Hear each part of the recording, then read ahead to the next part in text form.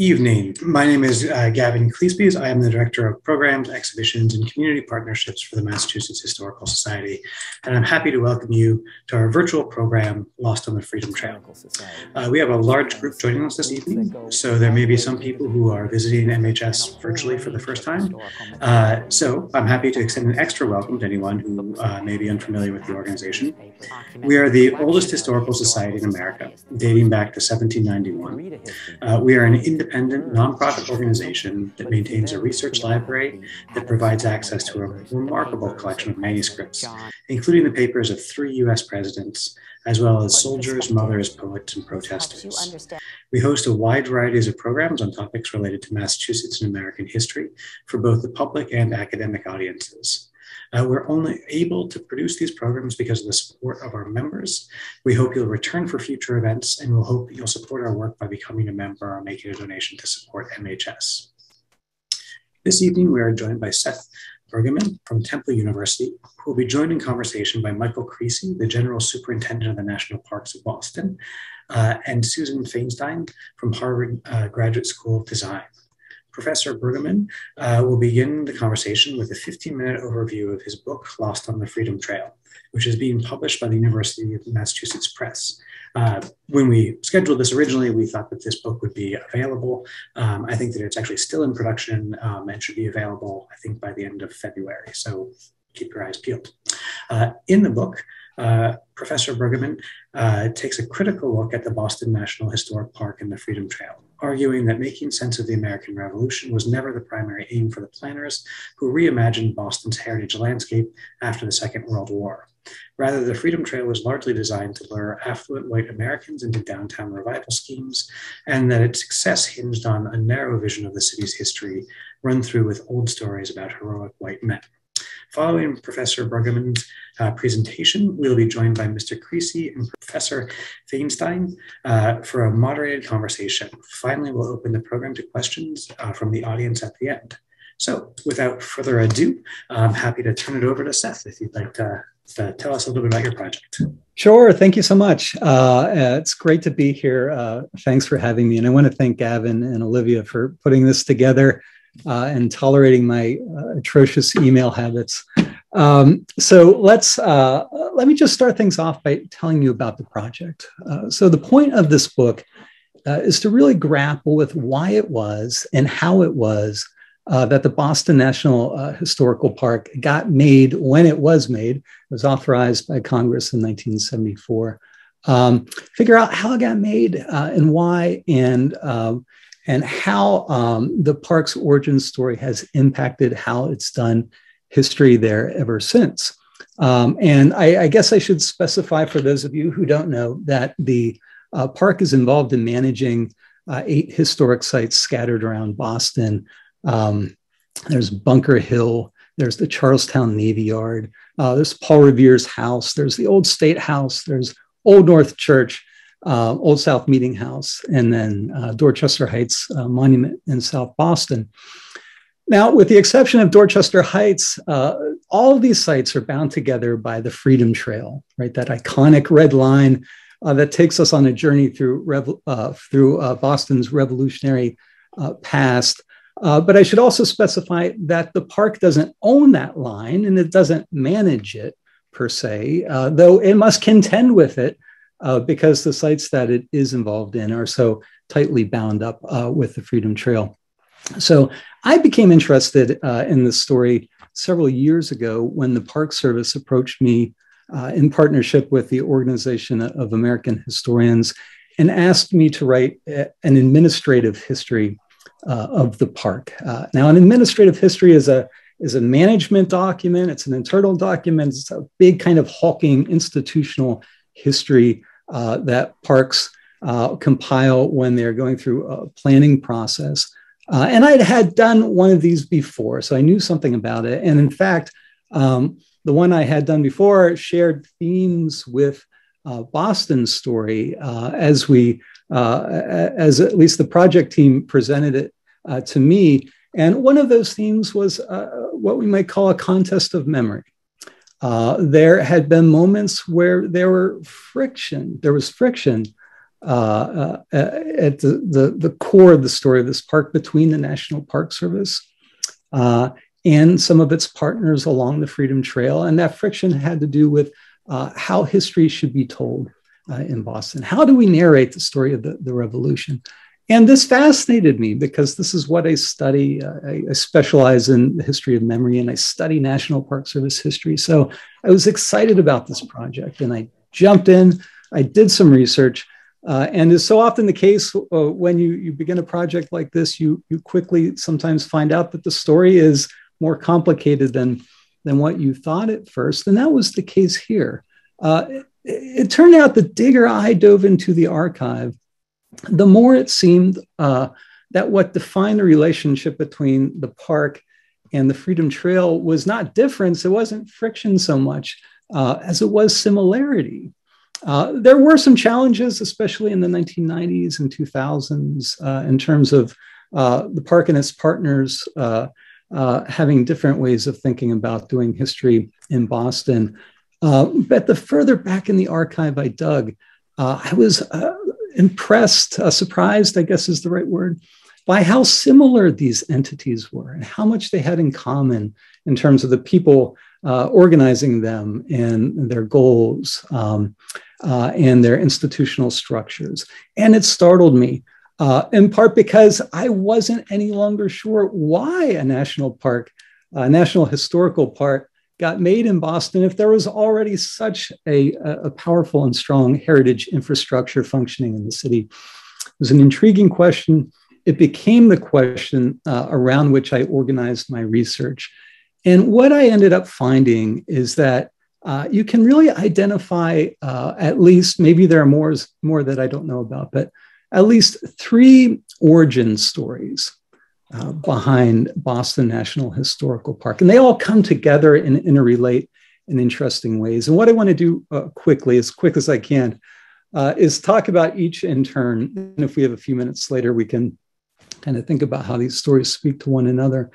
Um, so, number one, and we'll call the first story the Dorchester Heights story, uh, because uh, really the first formal interest in creating something that looks like a national historical park in Boston uh, centralizes around uh, the monument at Dorchester Heights, the Dorchester Heights Monument. And this conversation begins in the 1930s. Uh, it's initiated by Representative John McCormack, uh, who by about 1937 thereabouts becomes very interested in getting the federal government involved in protecting the Dorchester Heights Monument. For those of you who don't know, this monument was built in the 1890s. Uh, it commemorates the evacuation of the British uh, after the siege of Boston early in the Revolution. Uh, and it had become the epicenter of uh, annual celebrations uh, of Evacuation Day on March 17th. Um, that also coincide, as you likely know, with uh, annual celebrations of St. Patrick's Day March 17th. And this is a big party, uh, was and is in South Boston, back then with a majority Irish population.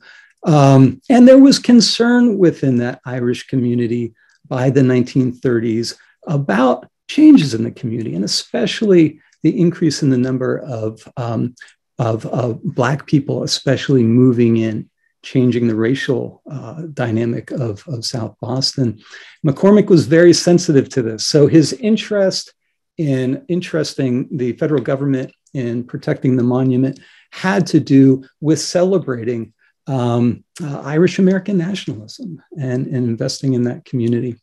In any event, more, McCormack petitions the Park Service to involve the federal government of Dorchester Heights. He can do this under the new National Historic Sites Act of 1935. Uh, and so the Park Service sends uh, an agent to speak with him, a fellow named Edwin Small, who um, was an up and coming NPS historian, uh, trained at Yale, hired on during the New Deal uh, had spent some time at Salem National Historic Site as a superintendent um, during the during the mid 30s, and um, became very involved in early phases of urban renewal in Salem. Became an advocate for the kind of park building uh, wherein uh, buildings not deemed historically significant would be demolished and residents moved out, and those deemed important would be preserved. Uh, and uh, and Small had also spent much of the 1930s cataloging sites around New England that could be folded into a national park uh, when that uh, might happen. He came, he spoke with McCormack. McCormack made his argument for protecting Dorchester Heights, and Small uh, said quite um, curtly, uh, no, we're not interested. Uh, Small didn't believe that the Dorchester Heights Monument rose to the level of significance necessary to bring the federal government into a preservation role. Uh, and as you might imagine, this upset McCormack a great deal. Uh, now, his anger was delayed a bit because World War II uh, put the conversation off uh, for several years. But when it was over, McCormack returned he still wanted to involve the federal government uh, at Dorchester Heights and went looking for new strategies, which introduces our second origin story, what we might call the Freedom Trail story. So, as McCormack looked around Boston uh, after World War II, uh, during the early 50s, he noticed that there was uh, an explosion of heritage tourism happening uh, in the city. And this tourism was gravitating around a brand new tourist attraction called the Freedom Trail. The Freedom Trail debuted in 1951. Uh, the idea for such a thing had been floating around Boston for quite some time, um, but it was uh, only then that a local newspaper man, after sort of pitching the idea in the Boston Traveler, uh, caught the attention of the mayor, um, who uh, thought it was a beautiful idea. The, the pitch was let's create a walking tour uh, that will help tourists from getting lost when they come to see, uh, say, Paul Revere's house or Bunker Hill. Uh, the mayor loved this idea.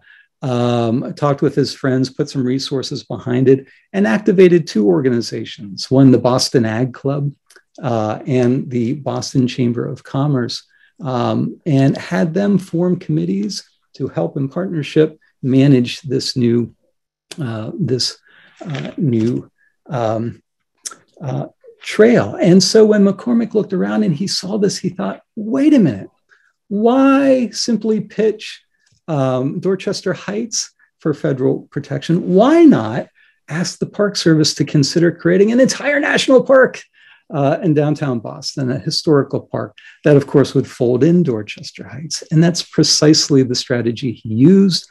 He flexed his muscle in Washington. And before long, the President of the United States constitutes a federal commission to study the problem of creating a national historical park in Boston. Uh, the commission gets put together in 1955. Uh, has seven commissioners. Some of them you will know. Tip O'Neill is in this group. Um, it includes Senator Saltonstall, uh, the uh, director of the National Park Service, Conrad Wirth, uh, his agent in the regional office as well, um, preservationist Louise Crowninshield um, uh, is there. Um, and then the fellow chosen to lead the commission uh, is a, a, man named Mark Bortman, uh, who's a local industrialist, plastics magnate, um, big fan of Paul Revere. And it just so happens also the past chair of the Chamber of Commerce's uh, Heritage Committee, which of course was in charge of running the Freedom Trail. So you can kind of see where this is going. The Boston National Historic Sites Committee uh, is staffed by a bunch of folks who are very much committed to that uh, Freedom Trail model. Um, the problem is that the commission is completely dysfunctional. it can't get anything done. The members argue with one another. Uh, they're unfocused. Uh, they don't have enough money to do the work they need to do. And so, after about a year and a half of spinning their wheels, uh, the Park Service suggests maybe we can provide somebody to help you get on task. Uh, a chief of party. We'll appoint a person to do this, and we know just the guy. His name is Edwin Small. right? Remember Small from our, our previous origin story, um, who had come up at, at Salem uh, as superintendent and had been thinking about what a national park uh, in the area might look like for, for decades at that point. Uh, so Small comes in and rather aggressively takes up the job of leading the commission. And in an interview years later, he says, uh, he kind of admits that he actually just took over. He, he took over their work um, uh, and began writing a report. And the commission ends up proposing in 1961 a model for a new um, National Historical Park in Boston. Um, it's a fascinating document. Uh, it proposes something that um, sounds pretty familiar. It looks a lot like the Freedom Trail. Um, there are four or five sites that will be included uh, in this proposal. They will function in a kind of loose confederation, partnerships between the Park Service and the uh, historical organizations that have been managing these places for, for decades. Um, uh, there's not a lot of detail about how those partnerships will work, but they're proposed.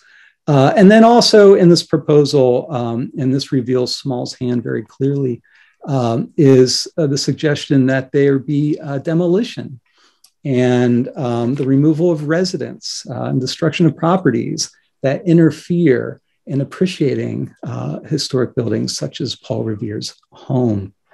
Um, and so this is the proposal that comes from the commission. Uh, and then it becomes the job of politicians throughout the 1960s to try and get public support for it to create that park. But it's a very hard sell. Uh, Tip O'Neill uh, works on this, uh, Ted Kennedy works on this. Hassle is by 1961, um, uh, ideas about urban renewal have changed uh, significantly. Ed Logue has arrived in Boston to come up with a new plan of community engaged, less invasive um, urban redevelopment. Uh, and so, uh, a plan that, that showcases uh, demolition and uh, the removal of residents from these areas is bound to be unpopular, and it is. And there is significant popular pressure against the politicians to not create this kind of park. Um, and so goes the campaign to, to create the national park for, for several years. I mean, there's a, a long push, um, but it doesn't look good until two things happen. And here's where we get to our third origin story, the last one, I promise. Um, two bits of bad news uh, bring us this story, which we could call the bicentennial story. Here's the bad news one bit comes in 1968. The federal government announces that it is going to close the Navy Yard in Charlestown. Uh, Boston is already wrestling with uh, problems of deindustrialization and collapsing job and economic base. Um, the Navy Yard uh, provided uh, income and jobs, and so this is bad news uh, in Charlestown and, and for the city more broadly. Um, and then a second bit of bad news. In 1970, uh, Boston had uh, applied to be the national headquarters for the upcoming celebration of the nation's bicentennial. Uh, and it learns that's not going to happen, nor is all of the anticipated federal money going to come um, as uh, planners had hoped in Boston. And so this sends folks into a kind of tailspin, uh, especially urban planners uh, and folks who are getting ready to, to, to cash in on the bicentennial. And so there's effort invested in trying to create a possibility out of the problems. And the Boston Redevelopment Authority floats a plan. Why don't we build a big history theme park in the old Navy Yard? We'll put some historic ships there. We'll, we'll build some, some kind of condos out of old factories. Um, and we'll um, create a marketplace connected to the Freedom Trail, and it'll bring in lots of tourist revenue for us. This plan gets folks very excited in Boston. Everybody, that is, except for the National Park Service, which, though advocating for a history park in Boston for many years, never imagined that it would include the Navy Yard, right? Which creates uh, lots of problems intellectually. How does the chronology work? Uh, the revolution in the Navy Yard doesn't quite fit. Economically, how could it work? How could the Park Service sustain such a big park? Geographically, how can it work uh, over two sides of the river?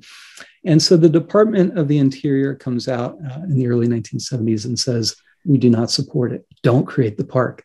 Uh, so the Park Service effectively argues against creating uh, the unit that has been advocating for for some time.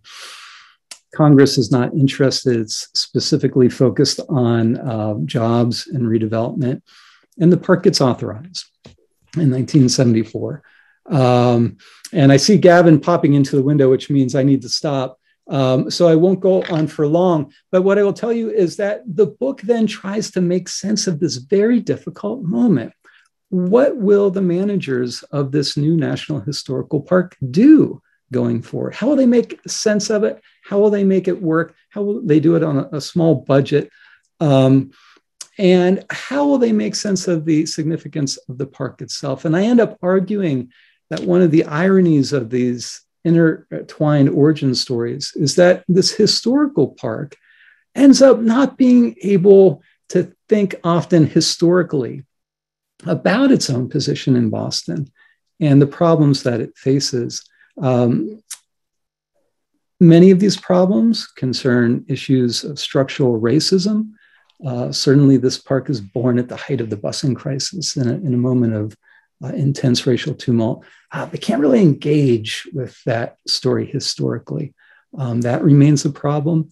And I would argue going forward that the um, the park uh, struggles uh, to understand that in many ways the Freedom Trail um, itself is a, a story uh, about post-war uh, renewal and economies, uh, racial animosities, class struggles.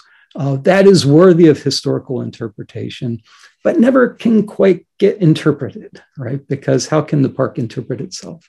Um, which is exactly what I think it needs to do. Uh, in any event, uh, I hope that frames the conversation. Gavin, let me uh, pass it over to you. Well, thank you very much, uh, Seth. And I'm happy to invite uh, Susan and Michael to, to join us. Um, and I thought, uh, since both Susan and Michael have um, have read this book um, and have some familiarity with it, um, if you would like, do you have questions for Seth? Um, is there something you'd like to know? And perhaps we could uh, start with Michael, since your camera seems to be working better. Sure, Seth. Um, thanks for that. Um, yeah, I, I, Seth mentioned, and I, I just want to really re- emphasize this: is um, he talked about kind of what um, what he did for the National Park Service in terms of writing the administrative history for Boston National Historical Park from the very early days all the way up through to 2000 and um, 13, 15. And so I think, um, you know, I just wanted to, to make sure everybody understood that, uh, that administrative histories are, are really important to people like myself as a park manager. Um, they're, they're really intended to reveal the decision making of my predecessors, right? And, and kind of how those decisions were made um, and how they were reflected into these broader kind of social economic uh, cultural political trends um, uh, throughout the city as well as in the National Park Service. And I think uh, Lost on the Freedom Trail does a really good job of kind of really holistically presenting a, lot of that package. Um, I, I, must say, though, in, in, reading the book, I appreciated the insights of how the park idea emerged in Boston, as, as you just described in your three components. I thought the broader connections, the politics and societal issues here in Boston were were fascinating. Um, I thought the partners involved in the eventual establishment of the, the park and then uh, its management, um, I have some issues with, but um, I, I, thought overall were good.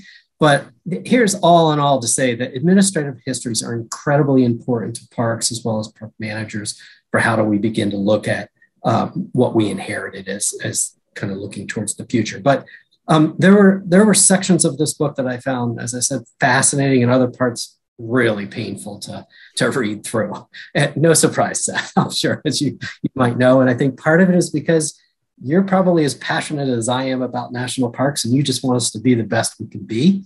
Um, but you you conclude the book with a not so rosy painting of the belief that the National Park Service can, I think, as you call it, do good history.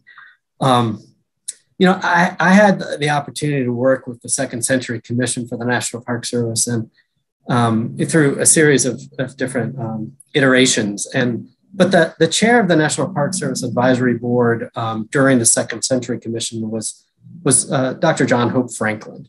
And I've always been inspired with the, the report that he authored on rethinking the National Park Service for the 21st century. And I quote him all the time in the in the opening of the book that says, the creation of a national park is an expression of faith in the future. It's a pact between generations, a promise from the past to the present to the future. To me, that's inspiring. And I guess my question to you, Seth, is do you see any of the same hope that was seen by Chairman Franklin for the National Park Service as, I, as we try and move forward? Oh boy, I mean that's the big question. I, I know it's a tough one, probably. it's the hardest one. I mean, obviously I do, or else I wouldn't do this work, as you point out, Michael. And it's you know it's a real, um, you know, the work I've done with and for the Park Service is all born of a, a feeling of uh, commitment to its mission. In some ways, debt because it supported me uh, as a as a young historian in many ways, and I see so much democratic potential uh, in the agency and its work. Um, the, the challenge, though, I find is that uh, in every project I've engaged with, the agency has such a difficult uh, problem seeing itself, right, or understanding how it fits into the communities around it. Um, and this is a problem it's wrangled with consistently. But in um, writing this administrative history, you know, what has struck out, to, uh, sort of struck me as is especially profound is that over all the years it took to go from the original idea of the park to authorization, which is a really long story, people were watching, right? What was happening in Boston. And um, we know because there is community activism that there was concern about the way that this park was getting made.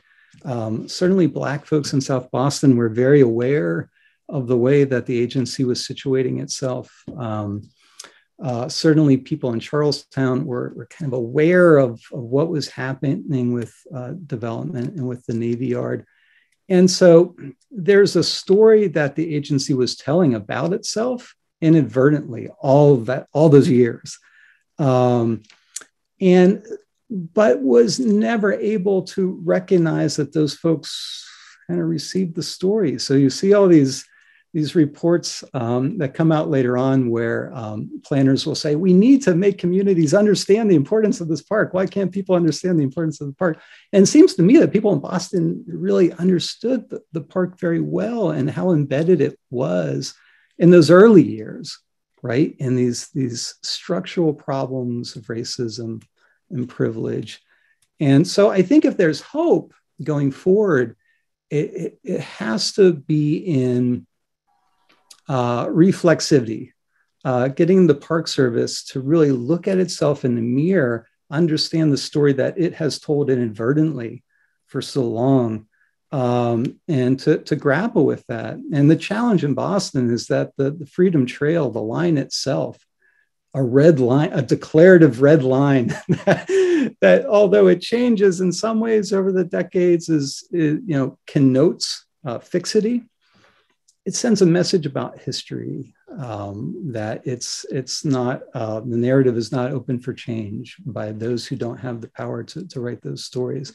And i think the agency could dig in in a really powerful way and open up uh, authorship right? Expand authority uh, beyond uh, um, into those communities that have watched it grow all through the years. So that's that's you know that's my way of of skipping the hardest question there is to answer by talking a bit. I think I heard a little bit of hope in there. There's so. a little bit of hope. There's a bit in there for you. uh, Susan, did you? yeah. Uh, well, m- many years ago, I read a book that I only remember somewhat about the national parks by a fellow named Ronald Foresta, and he essentially argued that once the National Park Service moved away from Yosemite and Yellowstone and the big you know, parks which were supposed to make Americans love nature, I guess, uh, that it never exactly knew what it was supposed to be doing in any place, particularly in the urban parks. Uh, are, are the urban parks, and you write the book uh, mainly from the point of view of the park belonging to Boston, but of course it is a national park, not just Boston's park. Uh, so it becomes a question of what what message should the park be giving to people who come from elsewhere, not just to people who live in Boston? Uh, so I think that that's one issue, and and you need to st- well, you're not going to rewrite the book, but I guess uh, you need to state a little more clearly what you think national parks should be doing. In the very last chapter, you say, well, it should be a schoolroom. And I was thinking, well, you know, I don't suppose these people coming from uh, my hometown of Cleveland, idea of a vacation is really going to a schoolroom. And so, yes, the parks need to interpret history, but they also are, I'm not sure what else. You say they're just commodity, commodified. I'm not sure that's exactly true, but that um, what they're supposed to be doing is, is very vague. I think it's vague to the Park Service, and I think it's kind of simply not exactly clear. And it finally comes down to well, since the national park is in all these partnerships with all these different Boston um, institutions, that its main function seems to be actually to provide a financial in uh, some financing that otherwise wouldn't be available, and then to provide these various interpretive guides, uh, and that uh, the interpretive guides are, you know, they're not historians. Uh, and you are. I mean, one of the things that's very clear is it really bothers you uh, that the people who are giving the historical uh, narrative aren't professional historians and don't go about it the way a professional historian would. But I'm not sure that people coming to the park are really looking to get a history lesson. Uh, they're sort of going, well, partly people are going because they just want to see old buildings. Uh, and that a lot of the force for preservation was, in fact, a force to counter urban renewal uh, where the original urban renewal in Boston, as we all know, but in most places, uh, was this basically destruction of the historic uh, architecture that a lot of the impetus for um, the Freedom Trail and the park really was architectural preservation. Hmm. Uh, rather than preservation of a narrative history of Boston and the United States. Uh, and I'm not sure that's illegitimate. And in fact, it was the preservationists that protect that protected what was it remained in Boston. Uh, one of the issues you raise, but I don't think the park can do much about it, is that uh, historic preservation tends to produce gentrification. Uh, and uh, certainly it has been an instrument in Boston for gentrification. Uh, but dealing with gentrification is a much larger issue than whatever it is a park uh, should be doing. So I'll leave it there. I've talked long enough. no, I mean there there are there there are many questions I think embedded in your in your your comments. Um, I mean, I can say that one topic that really interests me in the book is this relationship between private and public capital as it you know manifests in the story of the Park Service. And you know, so the purpose of the Park Service is quite clear. It's to preserve and interpret uh, significant resources in perpetuity. Uh, this significance is defined by the, the agency. And the question is, how does one do that, right? This is the classic contradictory mandate. How can you preserve important cultural resources and make them accessible to everybody? It's almost impossible. And what we know about the Park Service is that by uh, World War II, it, it functionally can't do that job anymore uh, because it's been broken down financially um, without the largesse of the New Deal. It's loved to death, as uh, Park Service people often love to say.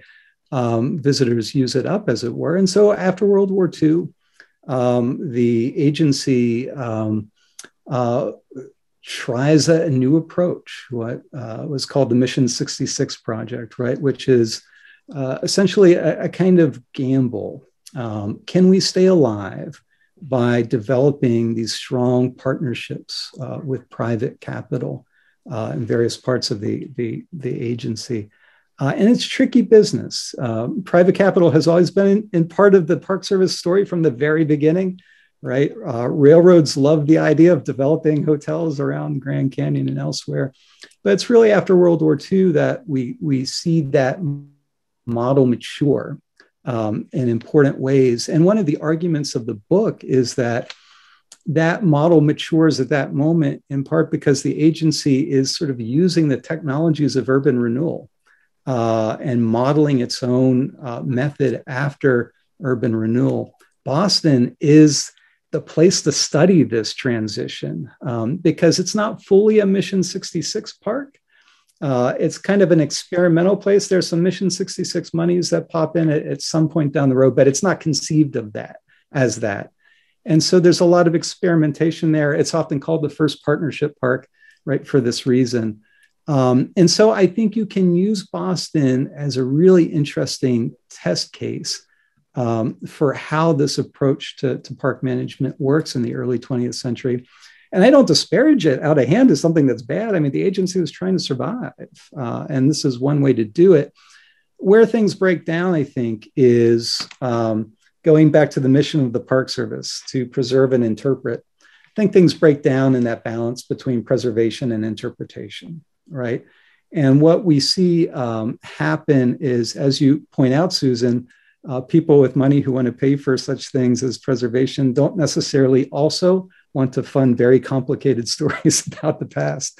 Um, and so uh, the challenge in Boston then is well, how, how do you do preservation in a way that taps into those uh, networks of capital that can help you protect uh, old and important buildings, but can also allow you to do interpretation that makes those stories meaningful for uh, more than just wealthy uh, white folks. Um, and that's that's the problem um, that we bump into in Boston at every unit. I mean, this is not just a story about Boston, right? It's really a story about the National Park Service uh, and whether it can ever fully achieve its mandate to serve all Americans equally. So, thanks for your questions. I, I appreciate them. So I have a, a couple questions for uh, Michael and Susan, and then some broader questions for uh, different configurations of, of the group. Um, Michael, uh, five or six years ago, the National Park Service celebrated its 100th anniversary. Uh, you mentioned to being on the second century uh, planning team. Um, obviously, anniversary is, you know, are arbitrary. 100 years is not fundamentally different than 107 years, but uh, people like round numbers. Um, do you want to speak a little bit about how NPS uh, has changed in recent years uh, by expanding the scope and diversity of narratives and cultural landscapes and history that are preserved? Um, I'm thinking on a national level of sites like Little Rock Central High School or Stonewall, uh, but also interested in your thoughts about how some of the uh, partnership sites within Boston have evolved recently. I'd just like to speak to that. Sure. Um, I think 100 years is a good milestone, though. Sorry. Better than 107, Gavin. Um, I, you know, I um, before coming to Boston, I was the director of the National Park Service Stewardship Institute, um, and um, at the time, I was asked to specifically look at both large landscapes, like how do parks fit in with these larger landscapes, and in particular, I spent most of my time looking at urban parks and, and cities and how national parks and urban areas really kind of fit in and and what is the relevance of urban parks uh, to the American people? I think you get to that both um, Susan and Seth in different ways. But it was no surprise to us as we began to kind of, you know, kind of do survey work, understand, you know, how what are the perceptions of national parks that, as was mentioned earlier, is that the perception is is that they're all big western landscapes with snow-capped mountains and geyser basins, right? It's the Yellowstones, it's the Yosemites, it's the great waterfalls, and um, you know, I think there's a blessing and a curse with that. I think the blessing is is that people know what national parks are. They just don't know kind of the breadth and depth and uh, the diversity of I think what our national heritage represents within the National Park Service. And so, I think as we began to look at urban parks, I just started counting up how many urban how, how many parks were in metropolitan areas, and over 35% of parks in the system, probably even more now, are are in urban metropolitan areas. So that's pretty substantial. And the budget is probably 50% of that. Um, so, I mean, I think I, I, also have a planning background. I spent some time as a park planner and in legislative affairs uh, in earlier part of my career. Um, it was clear to me that as I looked at planning processes that they were for well-defined boundary parks, right? That the Fed, feds owned it, they managed it. It was somewhat of an inward practice of looking at, you know, kind of management policies and things like that. And I think uh, we were very much challenged with the advent of urban national parks. And so I think we're still trying to kind of wrestle with that, as I think Seth has alluded to. I think also we were also looking at uh, how we really began to think more expansively about landscapes um, and our role within those larger landscapes um, as well as history and engagement. Um, so I, I, guess I think most people would be surprised if you looked back at the designations of national parks in the last 25 years and the types of these parks and how expanded and diverse the narratives are, um, how cultural landscapes and history are much more inclusive and engaged with their communities than uh, people's perceptions of what national parks are all about. Um, and just uh, just as uh, for, you mentioned Stonewall, you mentioned Little Rock Central High School. Um, you know, I, I, think that you know people don't know that uh, Brown versus Board of Education is is a national park here. Uh, Fort Monroe came in um, in in 2010, 11, I think, um, as a national park. Cesar, Cesar Chavez came in as a national park. Harriet Tubman Underground Railroad, Birmingham Civil Rights, uh, Freedom Riders, the Reconstruction era. Um, and I think our mo- most recent, I was, I was, looking this up uh, the other day, but Medgar and, and uh, Myrlie Evers. It's, it's a, a, small home that represents uh, civil rights activists that ran a movement out of their home. Um, and that was just designated last year. So, I mean, if you think about like where we've come from, from the perception that national parks are just about um, Yellowstones, um, and now looking at how broad and expansive national parks uh, have become uh, with I think the American people's desire to expand what they consider American heritage. Um, I, I, think it, it's it's a telltale for you know where we see the role of the National Park Service in this in this nation. I guess in terms of your question related to Boston, I think as part of the urban agenda that was that was uh, published, um, you know Boston was uh, the city was the, one of the parks across the country that the Park Service saw an opportunity to test out new ways for activating what was spelled out in the urban agenda. And that was really around relevance, really around kind of opportunities for, for, for more vo- voices, uh, more diverse voices uh, to be heard in uh, the national park narrative and our nation's narrative.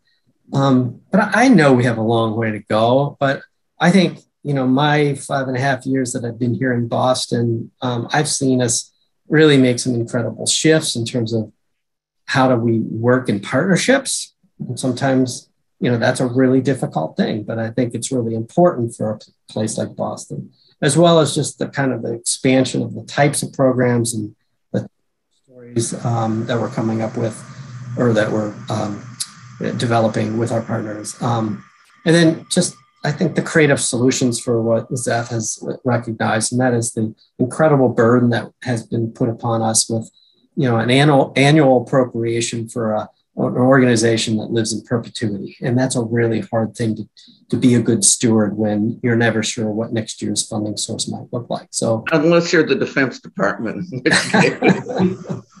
so I, I, yeah, so. Uh, uh, so that's kind of, I think, kind of the, the role I, I see us kind of uh, futuristically kind of thinking about ourselves and how far we've come. But Susan might have some. So, um, Susan, uh, we had a, a couple questions for you as well, and, and, then we'll try to. I think that we're probably running relatively low on time, so uh, I think we'll do one question for Susan and one question for the whole group. Um, Susan, based on your work in, uh, on the urban theory of justice, with an understanding of operating within what is feasible or possible within a capitalist urban structure, uh, what do you think of Seth's critique of the relationship between the park, tourism costs and benefits, uh, redevelopment, and gentrification? Do you have some mm-hmm. thoughts on that? Well, I think in Boston, the housing crisis, the cost of housing and gentrification is an extraordinary problem. And I suppose the National Park and the Freedom Trail have contributed to it, but I'm not sure that it wouldn't, you know, regardless, uh, would not be much different. And that uh, dealing with that is a much bigger question uh, than what the park uh, should be doing. Uh, I'm I'm more in favor of tourism, I think, than than Seth is. Uh, I've edited a couple of books on tourism. Uh, that tourism in, European cities and Boston, I suppose, too, this big problem with what they call over tourism. Uh, but on the other hand, tourism is an industry which, in many cities, really uh, absorb workers who otherwise had no place else to go. That once manufacturing is gone, and we can't blame the park for that, uh, that um, uh, it's low wage employment, but it is employment that um, I'm not sure whether Boston's hotels are unionized or not, but in a lot of places, uh, including New York, uh, hotels workers are unionized. And you don't need to speak English to be uh, maid in a hotel. Uh, you, so that it's absorbed immigrant workers in a very big way. Uh, and it's absorbed African Americans also. Uh, so that um, I think tourism needs to be controlled in ways that it probably hasn't been. And there's an issue of Airbnb and its proliferation.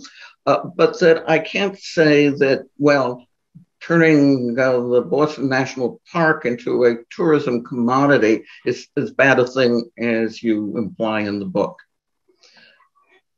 Uh, so, in terms, you know, um, my argument in the book, The Just City, is that uh, the principles of a just city are democracy, equity, and diversity.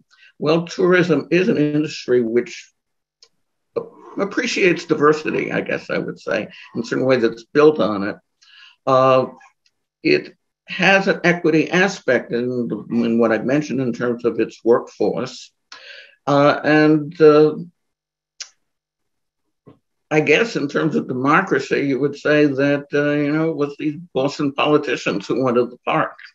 Uh, and that uh, uh, I'm not sure that I would say that John McCormack's lobbying on behalf of Irish Americans uh, is something that should be seen as simply racist.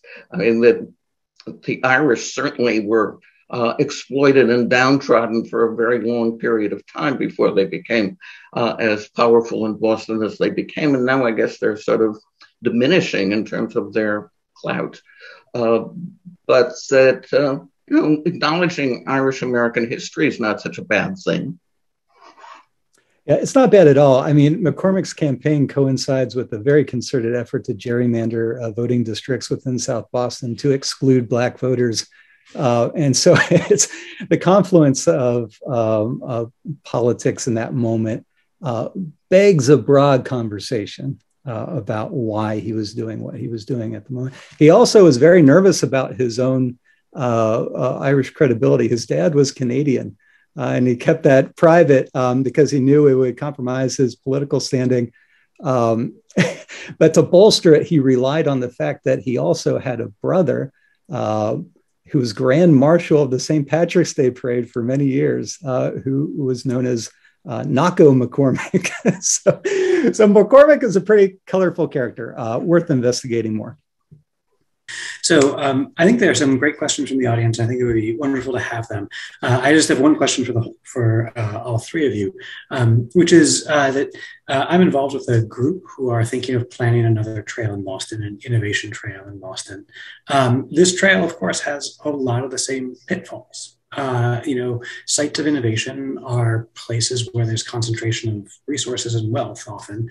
Uh, so, you know, Mass General Hospital, of course, is going to be a stop. Um, the Boston State House is going to, or the Massachusetts State House is going to be uh, prominent. Uh, and of course, Kendall Square. Um, and it again is looking for a space that is walkable in a relatively manageable amount of time. So you have the same danger of falling into highlighting these places which sort of reinforce um, wealth uh, and concentrations of power. Um, so, what advice would you have uh, to a group thinking about this? Because quite literally, we are actually thinking about this like right now. like, what would you what would you suggest uh, that you approach this as? How would you avoid the pitfalls? How do we have how do we avoid having lost on, on the innovation trail written in 20 years? So, so I, I jump in and say, I mean, I'm not a big fan of the trail as a, a model, um, but I'm a historian. This is thinking about history, right? And, and thinking about planning and, and, and tourism are maybe different concerns. But I would just suggest, Gavin, that you know the challenge with the freedom trail is that uh, it is an argument about the past pretending as if there is no argument so the freedom trail makes choices for you about how you encounter history without you knowing that it's making those decisions and so if you if you want to create a, a, a um, innovation trail, my recommendation would simply be to be very, very transparent about the choices. Why these stops, right? And who chose?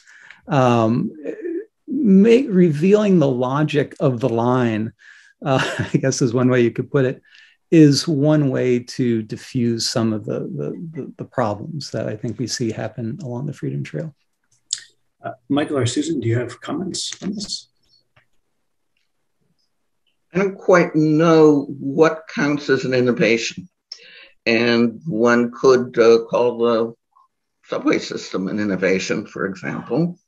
Uh, one could talk about abolitionism as an innovation. I mean, there, it's sort of too easy to see innovation as simply being, uh, you know, medical research and uh, computers, and I don't know what it is that you're actually classifying as innovation. Uh, but I guess, and, and here I, I kind of I do agree with Seth that there's a certain sort of canned quality to marking a trail, and that um, it kind of tells people what it is they should be identifying as innovation. And maybe it isn't, maybe it'd be better if you made it more problematic. I would concur with with my colleagues here. more to give you, Gavin.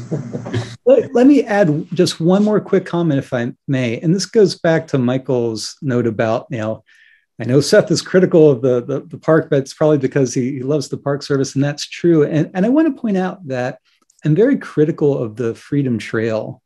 Um, not because I think it's necessarily a bad thing. Honestly, I think it's one of the most impressive interpretive contrivances I've ever encountered because it really does exercise its power in a way that's almost irrefutable. And it manages um, people in a way that's really powerful. But allowing that power to unfold without some constraints is the problem. Um, so, um, it's well, great- can I say something about that? I, knowing that I was going to be doing this, and then I was speaking with a, a friend who's a member, of, who's um, head of um, the board of the New Haven Historic Trust, and who loves the Freedom Trail. She says, I've been on it 15 times. I just love it. And uh, she said, I don't want to know the bad things, that rather I look at the aspirations of um, the Constitution or the Declaration of Independence or whatever that, uh, yeah, these people may have had feet of clay, but she wants to go along with Martin Luther King and look at the better angels of their nature. Mm-hmm. Uh, and so I'm not sure that the hagiography is necessarily a bad thing. So, I mean, I guess I would say that there's uh, some danger in confusing public service with choosing your publics. Um, so that is one audience that you're identifying. What about the other audiences? Um, and so that's that's the issue along the Freedom Trail. Um, we had a question from an audience member um, who said, um, "How did the Black Heritage Trail and the Boston Women's Heritage Trail affect or expand the stories told by Boston National Historic Park on the Freedom Trail?" And I guess Seth or Michael, you can respond. To um, so, so I, I, I, have some thoughts about this. I, I talk about specifically the, the, the, the, Black Heritage Trail in the book and its genesis. Although there's a new study coming out, a new administrative history of that unit, which is a discrete unit, um, which I hope to learn from too.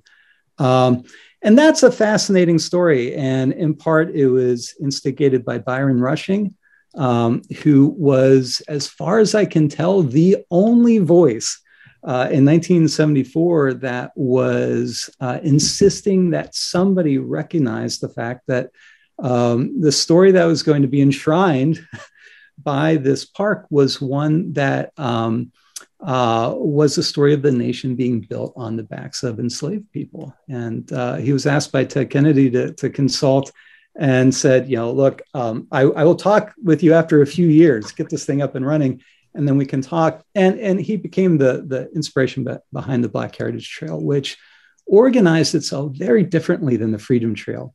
Freedom Trail largely about uh, tourism development profit. Black Heritage Trail very much organized about uh, around research and scholarship um, and activating, especially uh, Black folks who wanted to engage um, in their history. Um, the question for me has always been is it a good idea to have all these different trails, right? Um, this feels a little bit like separate but equal to me, which we know is never a good thing. Um, and there have been various arguments over the years at the park uh, about um, why it is good to have a discrete Black uh, history trail. Um, and I find those persuasive sometimes. Uh, but honestly, I'm left feeling like there's a kind of fracture um, that, from a historical perspective, is is deeply problematic. I can just say, in terms of the Black Heritage Trail and um, you know, the Museum of African American History and how that ties in with uh, the distinct, you know, Boston African American National Historical Site um, and Boston National Historical Park. You know, I think my one of my predecessors really kind of, you know, really struggled with this in terms of Freedom Trail and the Black Heritage Trail, and I thought it was um, somewhat genius on his part to work with our partners to really begin to kind of blend those stories and really talk about what is on the trail. And I think it's it demonstrates how parks can be evolving um, in their thought, in their operations, and their management. And so this notion that we have become the trails to freedom. And what does that mean for more than just some of the people that Seth that you're talking about? But I do think that, you know, there is real meaning to kind of looking at what was established and then over time how we've evolved. But the idea of like who, you know, what freedoms are we talking about and for whom? And those are the questions that we're addressing right now. And if you look at what we're doing in terms of like looking at the nation's 250th anniversary and some of the programming that we've undertaken in terms of unfinished on RevWar 250, I think it really begins to kind of answer those types of questions that you've been probing. I think the other thing is, as it relates to Byron Rushing and um, his genius in terms of like holding, like, because he's he and I have had this conversation, but I really do believe he was trying to, you know, kind of sort things out before just jumping on the bandwagon of Boston National Historical Park. And I think, you know, he was very influential in looking at uh, the North Slope of Beacon Hill and, and how this should be presented in a way that's different than maybe Boston. So I, just think, you know, what he said in terms of the Middle Passage ceremony, um, one of my first, you know, months uh, uh, coming into Boston was just incredibly powerful in terms of like, we need to first recognize, you know, what is, uh, what is the truth? What is truthful history? And I think from a research standpoint, you're absolutely right. And they continue to do uh, very good research, very good history at Boston African American, and I think you see that uh, reflected in much of you know kind of the, uh, the the new ways that Boston and Trails to Freedom present themselves today. If I could follow up just real quick, and maybe this will be interesting to listeners. Um, and and the question about the the Women's Heritage Trail made me want to share this in some ways, the research for the administrative history and, and then for the book was a test of um, what we can know about a national park by looking at federal records. I mean, in many ways, my research was sort of limited to, to, to working through the, the parks created by the agency or the records created by the agency. And one of the most frustrating uh, research challenges uh, was the fact that so often in the kind of banal day-to-day record keeping of, of the parks, women's voices, uh, the voices of people of color are absented in those records uh, in ways that, um, um, again, in hearing kind of the, the daily workings of bureaucracy, for instance, so often in meeting minutes, men are identified um, by their last name and position. Women will only show up as a first name. Um, and it became so difficult as a researcher to understand uh, who is in the room at any given point. And we can see in hindsight, this is kind of an artifact of uh, institutionalized sexism and, and, racism. And so, um, again, as we think about how we do public history and how we build our trails, so forth and so on, um, we do need to really think hard uh, uh about looking um, at how these organizations evolved and, and working really hard to make sure we see where the absences are and the silences in the record that we're, we're working from. Well, I, I, hate to say it, but we are actually sort of out of time here. Um, and I wanted to just reiterate um, that Professor uh, Bruggeman's book is uh, not available yet, but it should be available um, in the beginning of March or the end of February. I'm not sure if you have a date on that. We're, we're all waiting. I, your guess is as good as mine. Yeah. So um, people can certainly keep their eye out for that. Um, and I would like to thank you, uh, Professor Bruggeman, Professor Fainstein, uh, and uh, uh Mr. Creasey uh, for making time for this conversation. I think it's a, a really important conversation. I'm sorry that we uh, only had an hour for it because I think this conversation could go on quite a bit longer. I know that I only scratched the surface of my questions, um, but I'm aware that people have dinner plans. So thank you all for joining us, and thank you um, uh, for for making time to be on our panel. Thank you, Gavin. Thank you. Pleasure to be here.